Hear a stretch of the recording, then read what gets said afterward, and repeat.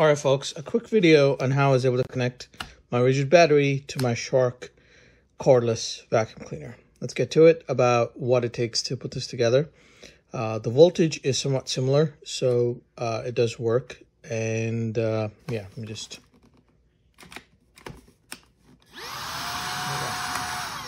And oh, the max.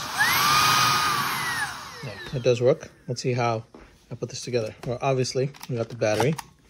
So before I get to that, let's talk about the voltage to make sure that we did this properly. So the Ridgid is 18 volts. So we got 18 volts. This is the Ridgid. And it is uh, whatever, 4 amp, 4 amp hours. So you get power equals VI, which is the volt times the um, uh, current. So this is 72 72 watt hour.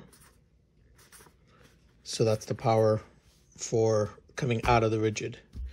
Now this one, uh, it's it's behind here, and, and I screwed this on already, so I, I can't show it to you, but it's something like 25.2 volts and um, something like 250 amp hours or whatever. Anyway, it comes out to 68 watt hours, basically. So what is required for the Shark vacuum cleaner is 68 watts of power. Meanwhile, the Ridgid supplies 72 watts of power. So therefore, uh, it's uh, it's enough to um, to give it enough power for the uh, for the Shark. If anything, it may give it too much power, although I doubt it. Uh, I think it should be able to handle it. So it's pretty close, give or take. And um, after using it, you know, this thing still still runs and uh, it doesn't feel hot or anything or anything like that. So let's go over what it takes to, to do this. So first of all, you'll need an adapter. So I got this adapter off of eBay. They have them on eBay. They have them on Amazon. You can buy two pack, four pack, whatever. But you will need one of these, and these things are great. That you can connect them to your battery, and then use it. It comes with these two leads.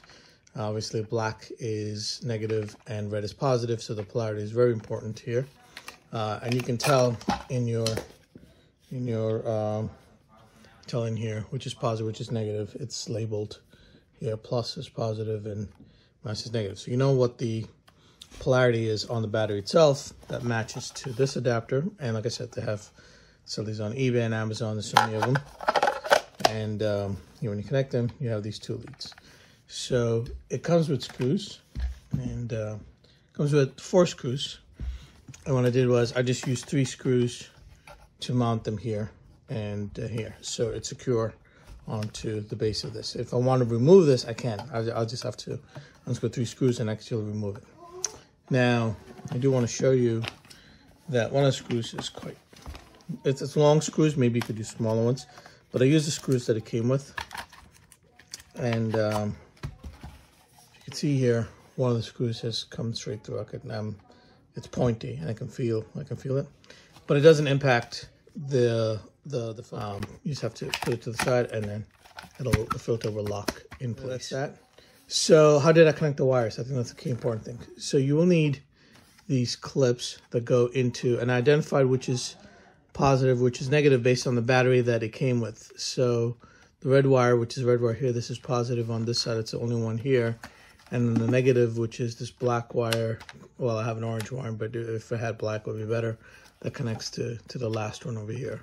So looking at the polarity on the battery of the Shark, I was able to figure out which one is positive, which one's negative, and I made a little note on the plastic. So when I connected up, I connected the positive to the, the to the positive and the negative to the negative. So that was quite easy.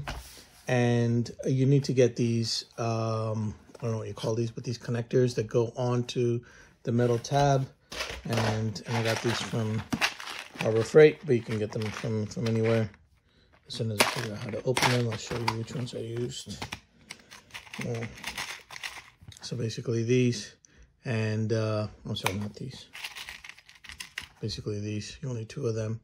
And if you just push them in harder, they'll they'll open up. I think they're they're a quarter inch size. So they'll open up and they'll fit in, uh, in here. So you just crimp them onto your wire. And then I used these solders, these uh, which I got from Amazon. I'll put a link to this one below. But I used these, to, I used two of these to here, and then used a heat gun to solder. As you can see here, you can see the melted solder in between. So, and it makes a nice tight um, uh, connection on this. Yeah, so that's how I connected the wire.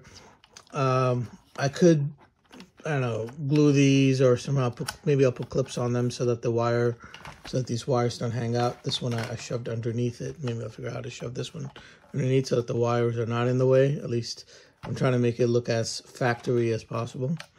But, um, but they, they work great so that I could use my Ridgid battery because, um, well, I have the Ridgid battery and um, yeah, and it does a pretty good job as soon as I figure out how the hell to put this back on.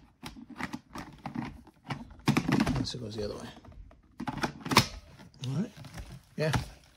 So that's it. So the voltage is good. Putting this battery on is good, and.